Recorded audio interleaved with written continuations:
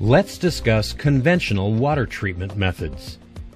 Improving the clarity of surface water has always presented a challenge because source quality varies. Suspended particles carry an electrical charge which cause them to repel one another. The conventional process uses aluminum sulfate, or a better term, alum, and cationic polymer to neutralize the charge. That allows suspended particles to clump together to form more easily filtered particles. Alum combines with alkalinity in the raw water to form a white precipitate that neutralizes suspended particles' electrical charge and forms a base for coagulating those particles. Conventional technology uses a 30 to 50 milligram per liter dosage to form a large flock that requires extensive retention time to permit settling. Aluminum sulfate is the most widely used coagulant in water treatment. Coagulation is necessary to meet the current regulations for almost all potable water plants using surface water. Large microorganisms, including algae and amoebic cysts, are readily removed by coagulation and filtration. Bacterial removals of 99% are also achievable. More than 98% of poliovirus type 1 was removed by conventional coagulation and filtration. Flocculation. The process of bringing together destabilized or coagulated particles to form larger masses which can be settled and or filtered out of the water being treated.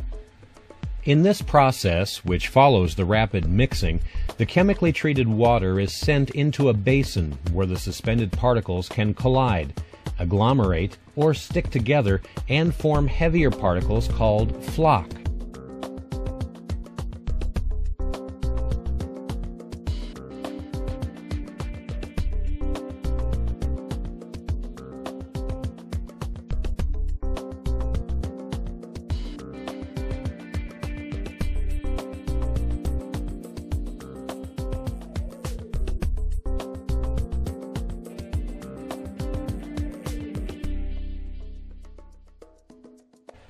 Gentle agitation of the water and appropriate detention time, or the length of time water remains in the basin, can help facilitate this process.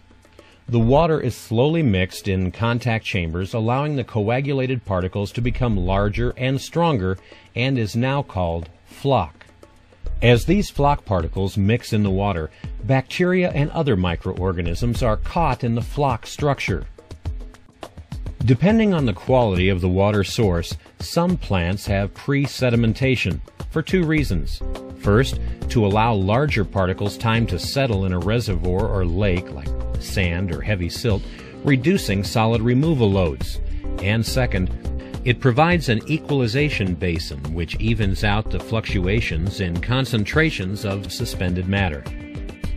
Sedimentation the process of suspended solid particles settling out, going to the bottom of the vessel, in water.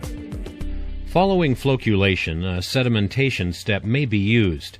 During sedimentation, the velocity of the water is decreased so that the suspended material, including flocculated particles, can settle out by gravity. Once settled, the particles combine to form a sludge that is later removed from the bottom of the basin.